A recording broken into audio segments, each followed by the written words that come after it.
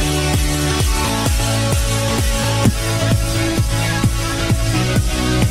back. Welcome back. I'm Michael Bull, and this is the Commercial Real Estate Show. If you'd like to know the absolute latest on any commercial real estate related subjects, check out our on demand show podcast. For example, last week's show, we talked with top tenant reps from JLL, Colliers, and Cresa about successful tenant strategies for 2014. The week before, we talked with Reis lead economist Ryan Severino about their market projections, including how Obamacare and the government shutdown could affect the economy, jobs, and commercial real estate. And be sure to check out the show featuring the Fed's view on commercial real estate. That show is also now on YouTube. There are lots of interesting shows to choose from. Grab your phone, tablet, or computer and visit iTunes or the show website, commercialrealestateshow.com. Well, today, our subject of our show is mailbox money, or uh, as Rocky and Bullwinkle used to do, you know, two two subjects, uh, or single tenant net lease investment market. Uh, please welcome our uh, guest on the phone here, Karen Hutton, CEO of the Hutton Company, with a rich history in commercial leasing and, and family roots in development. Karen founded the Hutton Company in 1994, and they have been busy.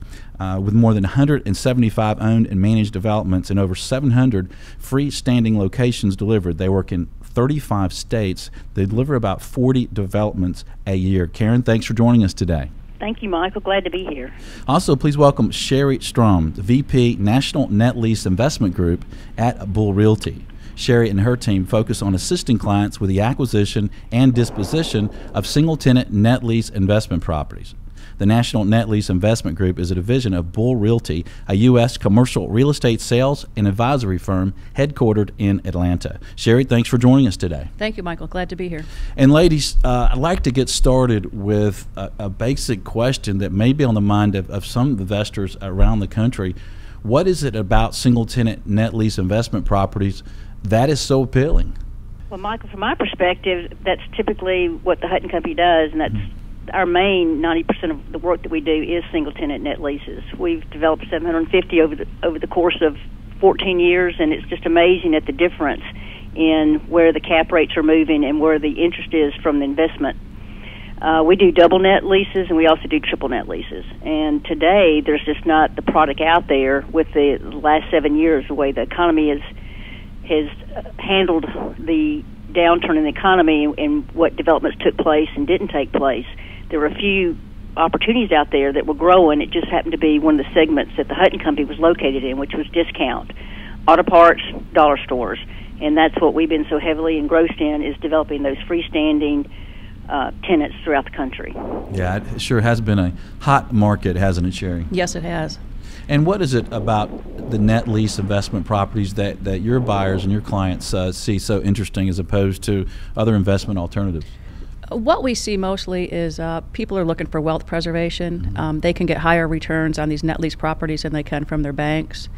Um, you know, they're looking for a long term investment, like you said, mailbox money, uh, with minimal landlord responsibilities. Yeah, okay. And they're considered very safe, right? I mean, the default rate on these national credit single tenants is, is very low, isn't it? Yes, it is. Okay. And, and Karen, you talked about the development world. You, you've been in it for a while. What has changed about single tenant, tenant net lease development over the last few years for you? People are starting to recognize it. You know, mm-hmm. we've been developing Family Dollar stores for a long time, and it really never was the cool thing to do. And people were out developing a lot of bigger box tenants, and would always question me why I didn't diversify and do something else. And you know, we were always trying to diversify because diversification is great, but we were doing such volume, it was hard to keep our initial clients happy.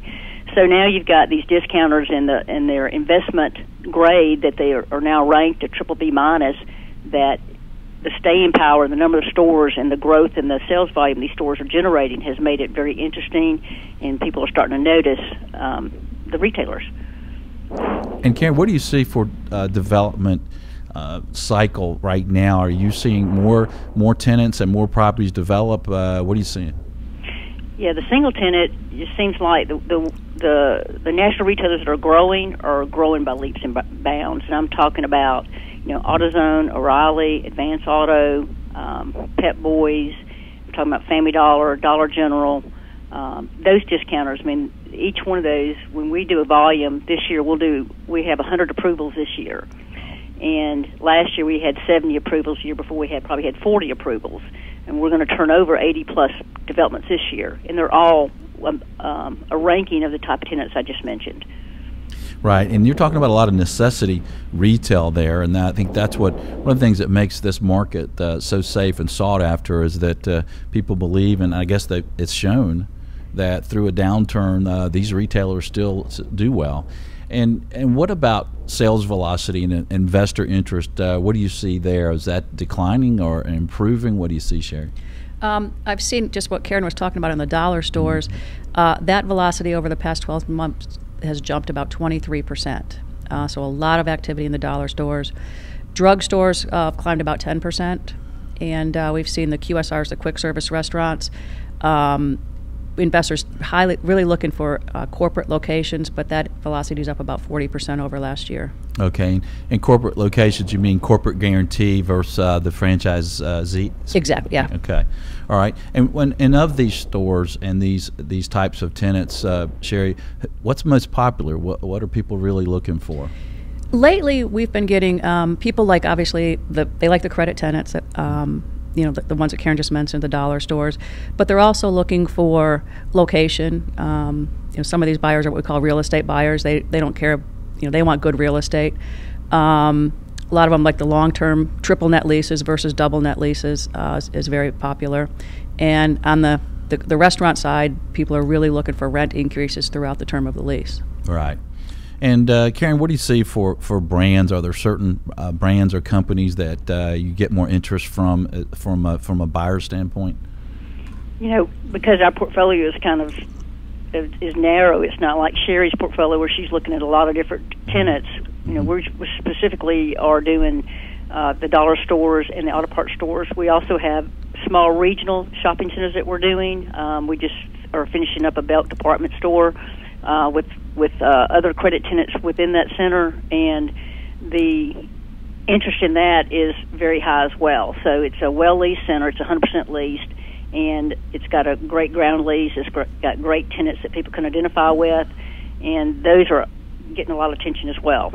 Okay, and we've talked about credit tenants, and most of our listeners will know what we're talking about. But for the some a few that do not, uh, Sherry, what is the definition of a credit tenant and, and a non-credit tenant, if you will? Um, it typically depends on their their uh, credit rating from Standard and Poor's or Moody's. Um, there's different levels. There's investment grade, which is a, a B minus, triple B minus, uh, or higher, um, and those would be the CVS, the Walgreens, the Dollar Generals, O'Reillys, those type.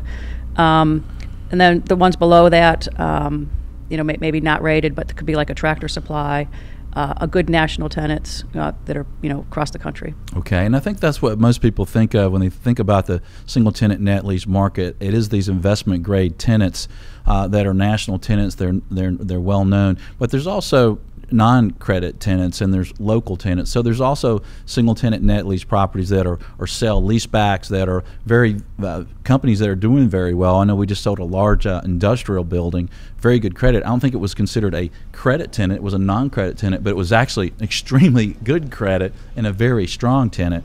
And there's also the local single tenant properties where you may get a higher cap rate and a cheaper pricing for the real estate. So you have some some room there for the property to escalate in value over the lease term. Well, we're going to get more single tenant market intel for you in just a moment. I'm Michael Bull. This is the Commercial Real Estate Show. We'll be right back. The Commercial Real Estate Show is brought to you in part by your friends at Bull Realty. When your business requires proven performance, visit bullrealty.com or call 800 408 Bull.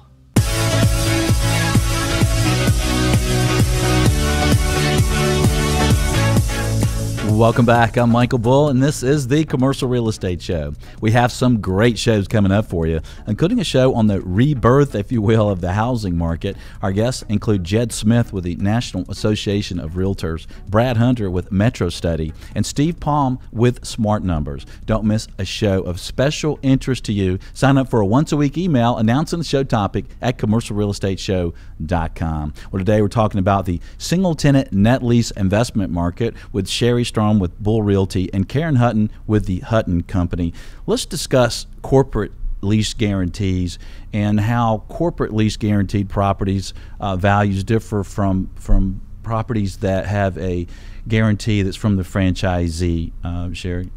Uh, the corporate guarantees uh, for the dollar stores, uh, the CVS's, the, the drugstores, um, those typically have longer leases, have lower cap rates uh, because it's less risk. Um, and you've got more in the restaurants, the, the QSR, the quick service restaurant arena, where you've got franchise versus corporate locations. And the, the cap rates and the prices of those vary a lot depending on where the property is located, depending on the franchisee, how strong they are, how many locations they have, um, how long they've been in business. Um, but you typically see, like especially on the QSRs, uh, franchise versus corporate locations, probably anywhere between a 50 to you know 150 basis points difference in cap rates, just depending on all the, the variables. Okay, Karen, you seeing something similar? absolutely. Um, the first thing that buyers ask for when they're getting their lease, do you have a corporate guarantee? So we we want to always get that when we're dealing with a national tenant. Okay, you know, and net lease property values are obviously higher the longer the lease. What are, are some of the larger shifts and value changes, Karen? I mean, if you've got a, a, a seven, five to ten year lease or a ten to fifteen year lease, what do you see there on value based on a remaining lease term? Yeah, the, the investors are, are so different today. Even with the REITs changing their strategies, where they're chasing lower lower um, cap rates versus higher cap rates, or lower uh, lease terms versus higher lease terms. So there's double net and then there's triple net but really in the same categories. If I have a 10 year lease for a credit rated tenant, um, and I have a 15 year lease, then the, the the difference in the cap rate could be a percentage point. It wow. could be a point and a half. It just depends on again the tenant and the location. But the, the lease term really makes a lot of difference. And Sherry, what do you see there? Uh, I see um, typically the 10 years is kind of what I call the cutoff. Mm-hmm. Um, you've got two different groups of, of investors, whether, you know, the long ter- people want long term, you know, lower cap rates, stability. Um, they like things longer than 10 years. Or you've got some of the, sometimes these are more local investors, but we'll, we'll, we'll look at a deal with, you know, five years left on the lease, six years left on the lease.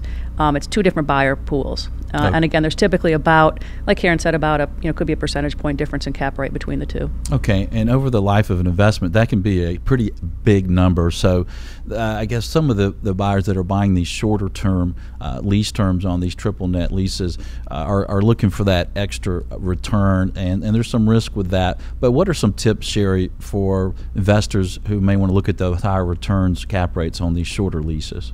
Um, again, a lot of the shorter term ones are going to more local people that know that market. Uh, the thing that we tell them to, to look out for is, you know, how is that store doing? What are the store sales? Um, try to get that as much as you can. Um, how long have they been there? Um, you know, just what is the what is the rent per square foot? Um, so if they if they did leave, could you re-rent it? You know, fairly easily. Um, again, it's really just know the tenant um, and ask a lot of questions and really get educated on the property. Okay, and, and Karen, I guess you, you'd like to know what the criteria is for that company to open a new store or to keep a store open, right? So if their percentage of, of, of sales is uh, adequate, then you think, well, maybe they will renew, right? Yeah, there's quite a few things to look at. Mm-hmm. One is what is the expansion of that type tenant, as far as the number of stores they relocate when the store does do so well, or they is, is, it a, is it a location they can outposition, expand the store, and do even better by getting their square foot of sales down a little bit and get more square footage. So just because they're doing a lot of volume doesn't always mean that's the best buy. You've got to really look at is that hitting the, the tipping point where that tenant may want to relocate, and so we've had that happen. So there's a lot of things to look at. Also, the condition of the of the location and the and what kind of uh, shortcomings might be in the lease itself, and as far as repairs and roof and warranties. So, you know, there's still good opportunities, but you just got to know what you're getting into by looking through and really looking at the tenant as well as the lease itself. Okay, so it is a good way to increase your returns, though, isn't it? To Absolutely. to look at those properties. Absolutely. Even the REITs are doing that today. So people, uh, some of the real estate investment trusts that would not look at the double net before, who did not look at short term, they're looking at the short term leases. I mean, they're looking at five years and they're examining them and they're trying to get that cap rate up. They want to be in the eights, eight and a half to nine. So there's a lot of buyers, and that's that's solely what they go after. Yeah, and there's some other things that are going to affect value. Um, you know, like whether it's double net or triple net, and what the lease escalations are. We're going to get more into more in considerations on the single tenant net lease market or mailbox money, if you will. I'm Michael Bull. You're listening to the Commercial Real Estate Show. We'll be right back.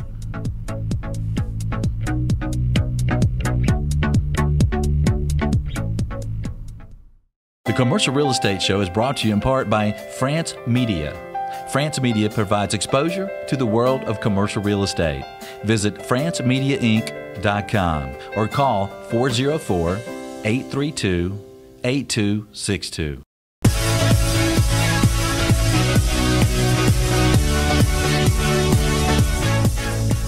Welcome back. I'm Michael Bull, and this is the Commercial Real Estate Show.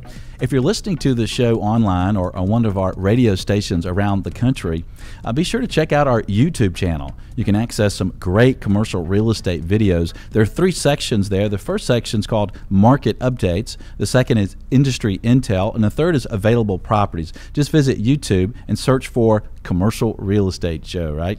Well, today our show is called mailbox money. We're talking about single tenant and net lease investment properties with Sherry Strom and Karen Hutton. And uh, Karen, we talked about triple net properties, and that's what everybody seems to really like. The you know that makes it more of a mailbox money, right? The the tenant's taking care of all operating expenses and, and roof and just everything there, and, and hopefully you just get a check for for a long time. But what are, what are some value changes and some investor interest when you go to double net versus uh, triple net? Triple net is actually a new territory for me. We've always mm-hmm. been in the double net, and it's never I've never really shied away from that, and really mm-hmm. enjoyed it for the past 15 years. But just due to some recent changes with clients I've been working with who went to a 15 year true triple net, I've never even collected my first coupon or my mail check yet, but I've always heard about it. And you know, when you're talking to certain investors, and really all they do want to want to do is go down and pick up a check and not worry about anything. They don't want to worry about the taxes. They don't want to worry about the CAM. They don't want to worry about the parking lot. Nothing. I mean, all you do is pick up that check, and and you pay for that. You get a lower return. And when we talk about cap rates, that's an interest rate return on your money. So you know, you may be driving down that cap rate, but you know, below a six, five and a half to five percent, depending on the the term of that triple net lease, depending on that tenant, and also the location. Okay, so it can make a pretty big difference in the uh, return. It's huge. Uh, Sherry, you probably have a lot of um, experience with this as far as what you're you're seeing your buyers and what they're looking for. Whereas, you know, I'm a buyer with a couple of products. You see a lot more than I do. Yeah, a lot of our buyers are older retired people that are looking to make you know a higher return than they get at their bank. And those people mostly retirees they do not want to have to go deal with a roof leak or you know something like that. So the, the tri- true triple net is very important to them because they don't have any landlord responsibilities. And that's interesting because i assume the the maintenance and repair of that roof or parking lot is baked into the cap rate as an expense anyway in the NOI the annual net operating income anyway right? Yes. So it's it's it's baked in the cap rate. It's just that ease of ownership. And i think that's one of the big things that, that people really like about the single tenant net lease market.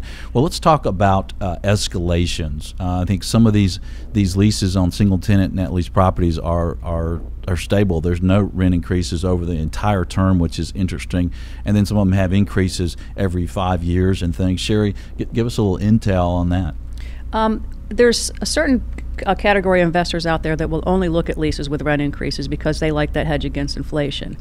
Uh, the thing that you have to look out for is that where we see a lot of that is in the quick service restaurants is that uh, you've got a rent to sales ratio, you know, how the store is doing um, in, in, to the rent. And if that ratio is above 10%, typically that, that's, that's going to cause a hardship on the franchisee uh, or the owner of that property. So it, when you look at those increases, you, if you're starting out at a high rent to sales ratio, you know, if, if you got an annual increases of 1% or 1.5%, you know, in five or six years, that could be a real hardship on that tenant. So you really need to look at those numbers carefully um, and start out at a low rent to sales ratio so that you have room for those escalations. Okay. And let's talk about cap rates, uh, Karen. What what do you see for cap rates right now on some sample tenants and lease terms around the country? You know, it's really interesting uh, because we're also a, a buyer as well. Even though we're selling a lot of our inventory right now that's coming coming due or coming available because someone out there wants it more than I thought I wanted it, and we're just, you know, deciding to say, hey, we we probably should sell this. You know, it looks, but we really were planning on keeping it. So um, the big difference is really the knowledge of the seller and and um, also their ability to hang on to it for a, a length of time before they they need to sell it. So those are things that can drive the, the cap rate in different directions. Um, I think finding the right broker, you know, like you know, using Sherry versus you know using someone that may not have the experience, can find you that right buyer. And if you have a little bit of time, I think timing is everything. Um, there's so many things that can drive. I can have the same product, and I've seen something very similar to a Family Dollar sale, and someone sold it for a point and a half more than I did. Mm-hmm. And I will call them up. I said, "Why? Why didn't you call me? I would have bought it." so you know, sometimes it's knowledge, and sometimes it's it's it's a personal. Um, limitation that they have to sell that product and it may have nothing to do with the real estate so i would say always open the box up look at it see what's there ask ask questions and you know see see really what the cap rate is about. Yeah, that, those are good tips, and sometimes it is affected by supply and demand, and as a seller, how well is that property marketed? But um, Sherry, can you give us some example cap rates that you're seeing on on some of these products right now? Yeah, and um, some of the auto parts stores, uh, you know, again, we've seen those those go down uh, probably in the last 12 months, you know, 25 to 50 basis points, depending on the lease terms, the location, um, you know, the demographics. They're anywhere probably between six and seven percent cap rates. Um, dollar stores, again, it's going to depend on the lease term, whether it's you know a, a, double net lease or a triple net lease, and and the location. Um, those have come down on the true triple net dollar generals have come down substantially. Um, we're seeing those in the the six and a half to seven percent range. Again, on the two triple net Dollar General 15-year leases. Um, and drugstores, um, again, just that they have longer term leases, uh, and those are in the five to six uh, percent range, cap rate range. And those Dollar Generals you're referring to, Sherry, those are all flat leases for I think 10 years? Yeah, you, we see different ones. Some of them are flat for the full 15, and then okay. some of them have uh, uh, 3%, or I'm sorry, three, yeah, 3% rent increases in year 11. And yeah. then the family dollars that we're that we're working with, you know, those have escalations, uh, can have es- escalations throughout. And I think when people look at dollar store, just make sure you're really diving into the details, and make sure you get apples to apples when you're just seeing a cap rate. It, there's, you know, there's usually some reason if it's very similar markets uh, in the same ter- lease term, that there's something within the lease that may be driving that cap rate a different way. Yeah, that's a very good point. Yes. Uh, when we mentioned cap rates, look at all the details. This is the Commercial Real Estate Show. We'll be right back. The Commercial Real Estate Show is brought to you in part by your friends at Bull Realty. When your business requires proven performance, visit bullrealty.com or call 800 408 Bull.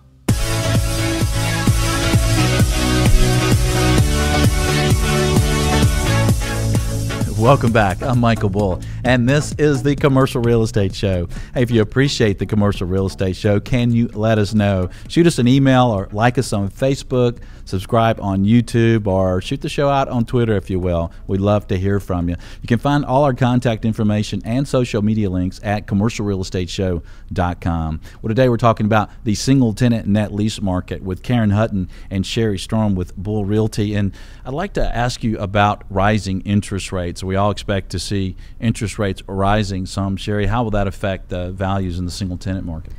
Uh, what I have seen is, since rates have crept, crept, up a little bit this past year, is that it does have an impact on cap rates. Uh, so if, the, if those uh, interest rates are going to go up, the cap rates will, will follow, I believe. Karen, what do you see? And, um, you know, we've the luxury of our low cap, uh, interest rates has just been so interesting to me. I was sitting in a meeting the other day, and someone said, "Gosh, the rates are high; they're four and a half percent." And I just kind of chuckled. I went, "My dad would kill me if he heard me say that or, or listen to that." And I had to speak up. I said, "That's still so low."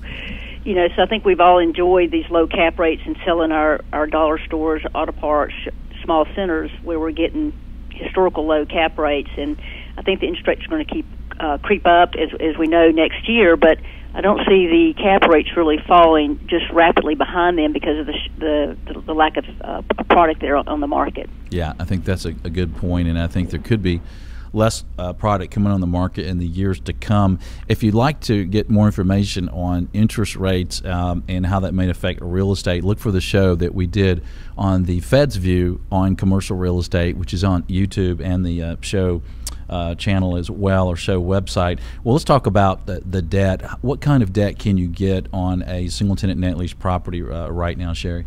Um, it really depends on the tenant, whether what their credit rating is, uh, and your loan to value. But for instance, if you have an investment grade tenant, uh, a dollar store, something like that, uh, you can typically get up to 70, 75% loan to value. And the rates are going to vary depending on you know, a lot of things, but you can get a five, five year money at under 4%. Uh, seven year money is just over 4% or under under 5%. So rates are really good right now. And is that uh, locked in or is that going to adjust? Typically, they're locked in for, for instance, five years or seven years. Um, And Karen, what do you see for debt? Exactly what Sherry's saying. Uh, the amortization on that would probably be the term of the lease, maybe five years outside of that. So you have your balloon, you know, it's going to be based on that that fixed rate term, and then there's the non-recourse money that's also available um, through life insurance companies and other avenues of, of, of, of lending. And the rates are very similar. Which in the traditionally in the past there would be some separation there between banks and um, non-recourse, but I'm really seeing those really neck and neck as far as the, the interest rates and exactly what Sherry was saying. Okay, so you can get a dollar store at a cap rate of what around seven, say seven. seven, and you can get a loan at about four percent, Yes. and you can get up to seventy percent loan to value. Yes. So you have some incredible positive leverage there on the debt portion, right? Yes. It'll increase your cash on cash return substantially. Yeah, I think in some cases you can get close to double digit cash on cash returns depending on, on the spread between that interest rate on your loan and the cap rate on the property if you, you pay all cash. So that's something interesting uh, to look at, especially with a safe property that you know most people expect single tenant to be real safe.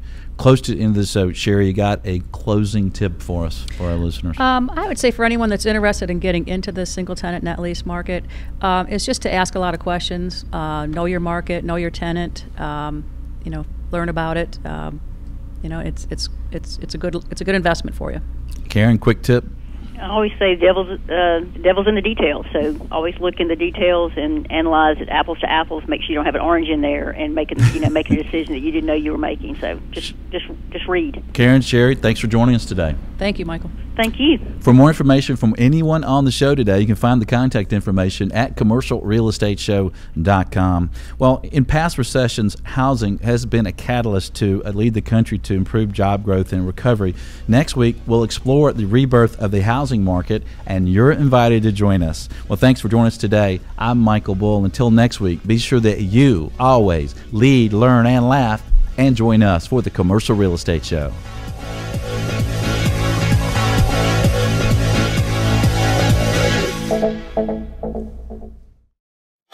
The Commercial Real Estate Show is brought to you by your friends at Bull Realty, France Media, Atlanta Office Liquidators, and Weissman, Nowack, Curry, and Wilco. For more information about these companies or to access additional show podcasts, videos, or blogs, visit commercialrealestateshow.com.